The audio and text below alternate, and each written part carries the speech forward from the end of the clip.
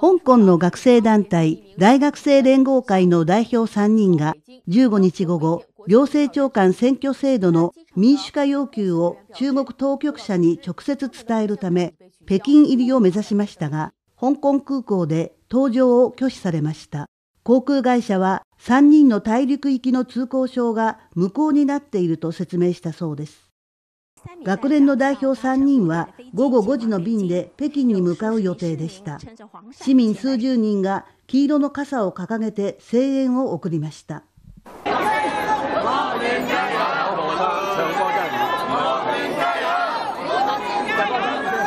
我相信今日係呢場運動裏邊嘅其中一段插曲，嚟緊一場運動必然係會繼續走落去，我哋必然係要繼續努力，繼續堅持。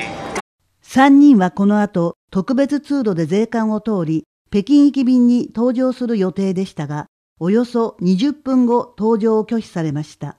我哋啱啱收到消息就係話，國際航空公司收到內地有關部門嘅通知，就係話學聯四人組，包括係誒周永康、羅冠聰、鍾耀華以及係曾樂謙嘅回鄉證咧，係俾內地相關部門取消咗。咁因此咧係辦唔到呢一個登機手續，而四人呢已經係即係離開咗機場嘅禁區。